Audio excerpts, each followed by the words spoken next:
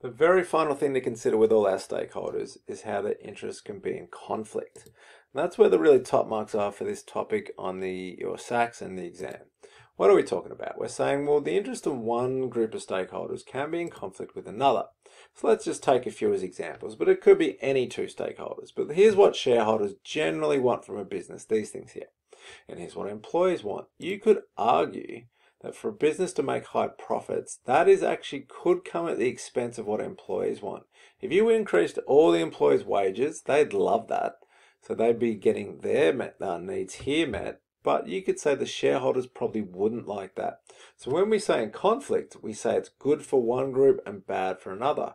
Increase everybody's wages by 50%, great for employees, bad for shareholders. Those interests are in conflict. Let's take another group. Let's keep shareholders, but let's put in customers.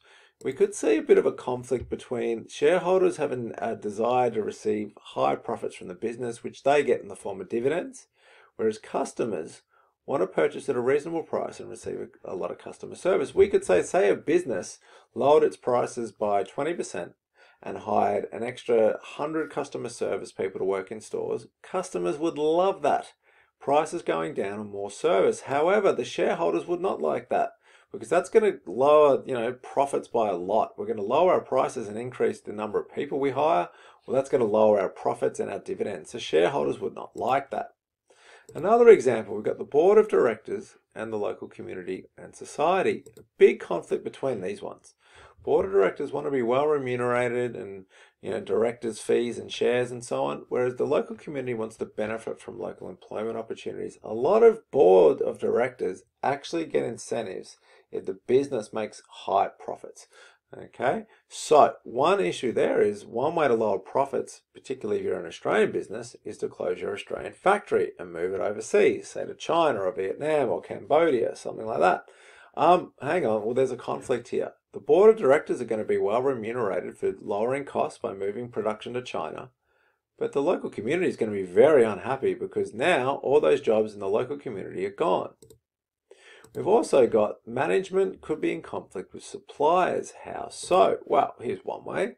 Management often wants to be involved. One of the reasons they work for a particular business is because they want to, you know, have a say in setting objectives and achieving them. A lot of people that want to challenge themselves and work for businesses that allow them to do this. Well, one way they can do that is to change who the suppliers are. Whereas a supplier, they want to be locked in as what's called a preferred supplier. They want the business to always use them. So you could say, for example, if you got a job as the CEO or the head of manufacturing at Apple and you decided to change from one supplier to another because it was cheaper, well, the original supplier is going to be really unhappy with that. So there's going to be a conflict. And a final example, and like we said, there's, you know, could be any two stakeholders, but let's just take one more conflict between shareholders or owners and the government. And it's a huge one. There's many, but this is just one. Governments want to receive taxes from the business. Why? So they can pay for schools and hospitals and roads and stuff. Whereas shareholders or owners want the share price to increase. So one way a government could increase or the amount of taxes it, receives is to slug a tax on business, maybe on its profits or a payroll tax on the number of employees. That is going to be really good for business. However, the shareholders aren't going to like that because that's going to lower profits. Lower profits usually lower the share price and they're going to lose money. It could go the other way too. What about a local business says, you know what, we're going to move our operations um, from Australia, we're going to move to a country has got lower taxes. Well, the shareholders are going to be very happy with that and the share price is going to go up, but the Australian government is going to be very unhappy because they're not going to receive any taxes at all.